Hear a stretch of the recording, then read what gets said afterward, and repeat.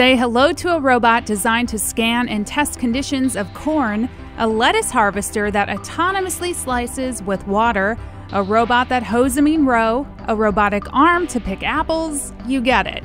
They're everywhere.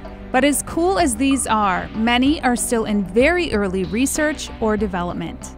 Your tip off was the computer on the field. They are not as dustproof as you'd hope. We're in the lab at Blue River Technology to talk about its FarmBots, the first being a computer vision based field machine designed to weed lettuce rows. It got its start because thinning out lettuce rows is normally a labor and time intensive process.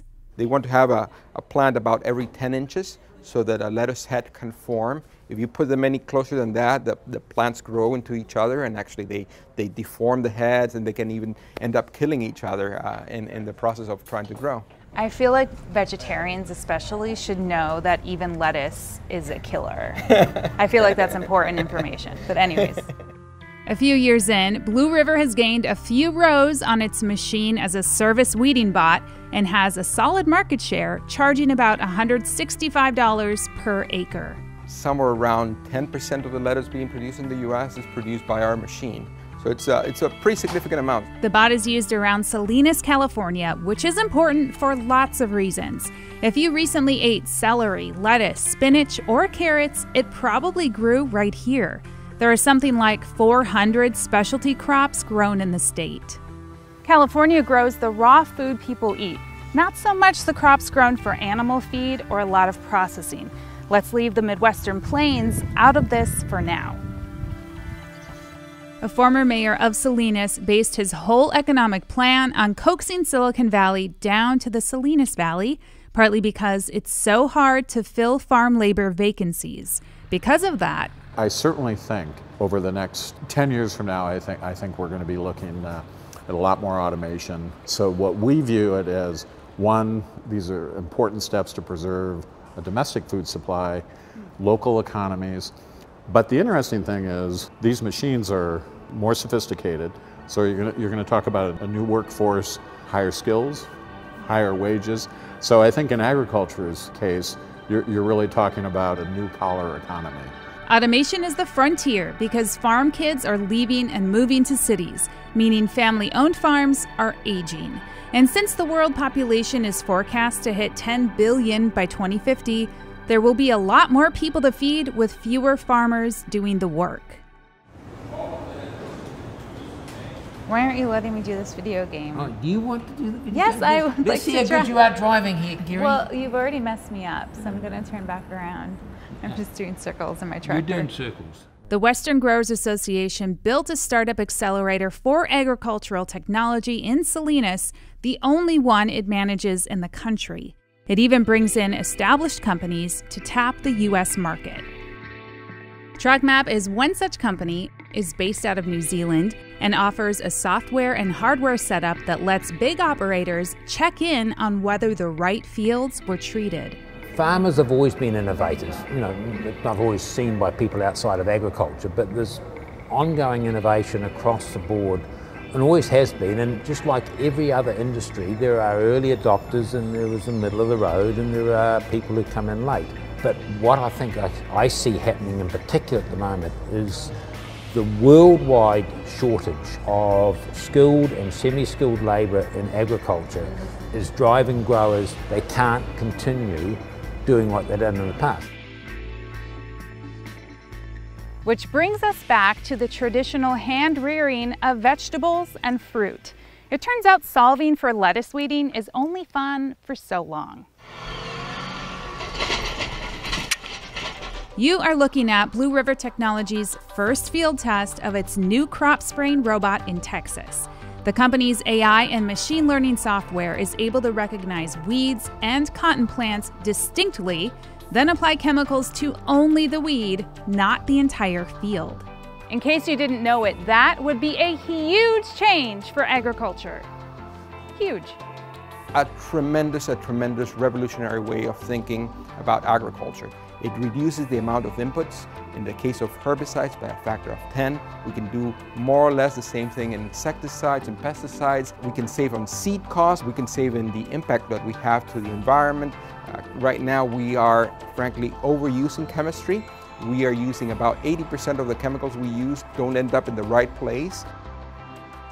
Since the average mid-sized farmer with say 700 acres will spend about 100 to $130,000 spraying herbicides to kill weeds, fertilizer to encourage growth, and insecticides to kill bugs, spraying only the weed would mean a farmer's cost for that chemical would be reduced by a factor of 10. Heraud says right now, it's like the sprayer prints weeds with a black ink cartridge. The next round, he's gunning for color. Here's my dream. I want to see every single plant and figure out, okay, you're, you're a weed, we'll spray you with herbicide. You're a crop, okay, you seem to be a little bit low in your nitrogen, so we'll give you a little bit of nitrogen. And you know what? One of the, your leaves is having a little bit of insect problem, so I'll give you, in that area of the plant, I'll put some insecticide to, to cover you. And with the optimum amount of chemicals, not, not the maximum amount. If you use this this approach that we're talking about, where we see every plant and we understand the needs of every, every crop, every weed, we can spray the appropriate amounts and get the maximum output from every plant. The lab's mock field has a plastic crop to trick the software into thinking they're weeds or cotton. Did it think your GoPro was a weed? Mm, not quite. For this test run, it thinks my GoPro is cotton.